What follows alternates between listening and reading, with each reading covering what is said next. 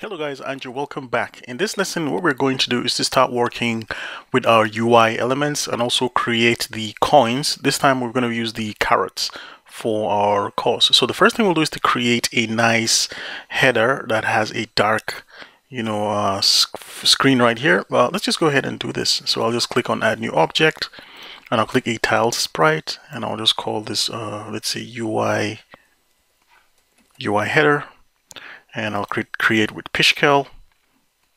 Piskel. All right, cool. So I'll pick a. uh, just use the default black and save this, and I'll call the text file UI, the image file UI, and just like that we have our UI and we'll click apply. So what I'll do is just drag this over here and place this and here, if you have the instance selected, just click on it and then go over to the base layer and make sure this is on the UI layer and what we'll also do is to just stack this UI layer and put it right on the top because the UI layer is going to be the topmost element. So let's just place it down here. And it's not going to be intrusive because our player is down here. And what we'll do is just drag this to the edge of the screen for now. Since it's a UI element, we're later going to anchor this element so that it uh, doesn't disappear. So let's go ahead and click preview. And just like that, we have a nice header right here. Like I said, we can actually stretch this in such a way that it's always going to be auto updating. We'll actually see that in our future lessons.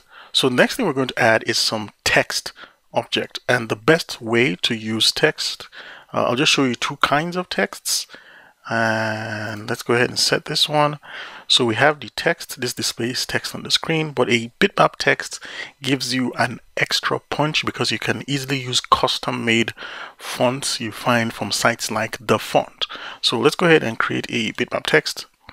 And let's just call this our score like so.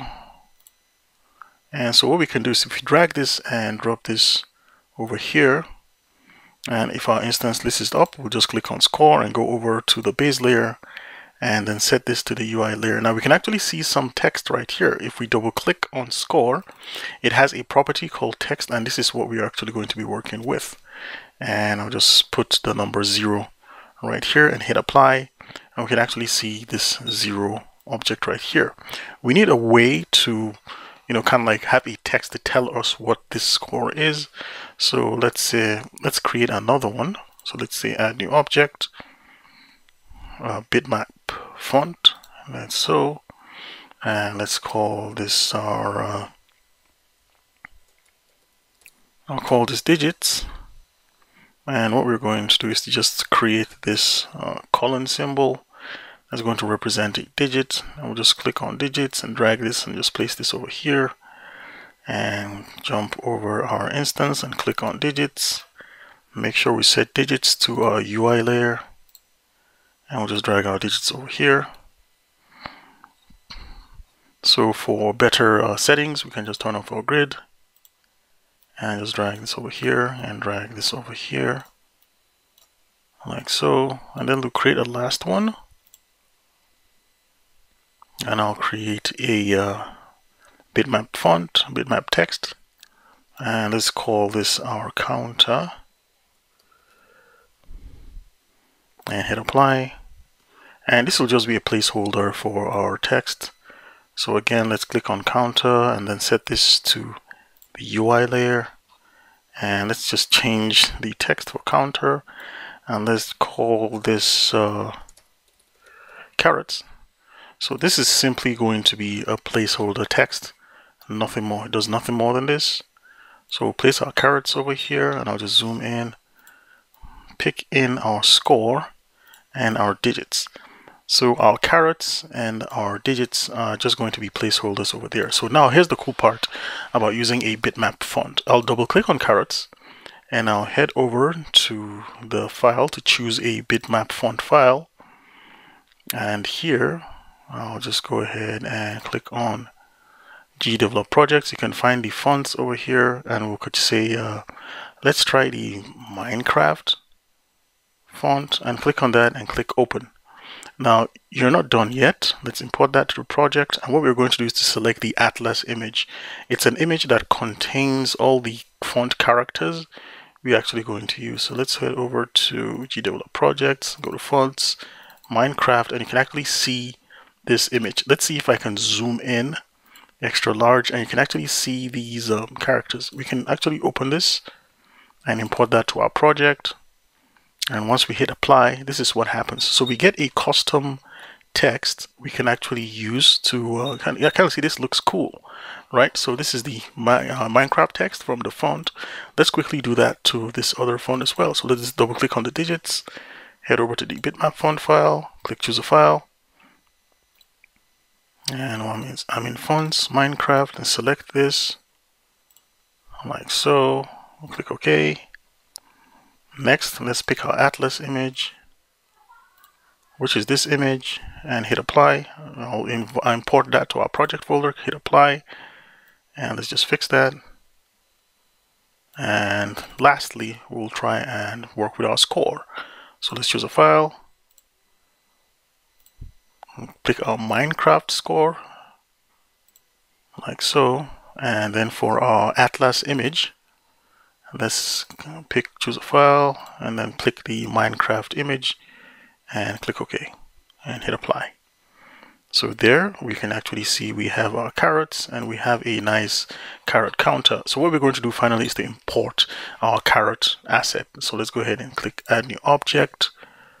It's going to be an animated sprite. We'll call these uh, carrots like so. Hit apply. We should import our animation. So I'll click from choose a file We'll go to GDevelop projects, our first project, our assets, our forest files, our PNGs, our sprites, our miscellaneous sprites, our carrot, and there we can actually see our carrot. So let's click open. Let's preview our animation. Uh, let's set it to loop. And let's click uh, preview That's super fast so let's see what happens when we uh, make this point one let's say point one click on preview again okay not super fast so let's say uh, point four preview okay I think point four is uh, too much so let's try point two and click preview yeah, I think I like I like point two. Uh, so let's hit apply.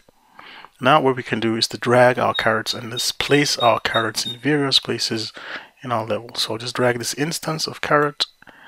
And what we can do is to set the carrots to be the same layer, UI layer as our player. So our player can easily kind of like collide with this. And we'll just click on duplicate and have this carrot here. Duplicate And let's add a few of these just floating around. So click on this guy, right click and go to duplicate and just place these anywhere you want. Now we can actually create these objects when our game is starting. We can specify points where we want to spawn these or when the player has moved in specific distance and then spawn these carrots. But for now, we just want to keep it simple. So let's go ahead and see what we've done so far. So here we have a nice UI layer with our carrots and we have our carrots we have our character moving like so right now our player cannot collide with these carrots right so she can't do that and uh, in the next video what we're going to do is to see how we can set up our player to collide with these carrots. If the player touches these carrots they disappear and then we can see how we can increment this value. So see you guys in the next lesson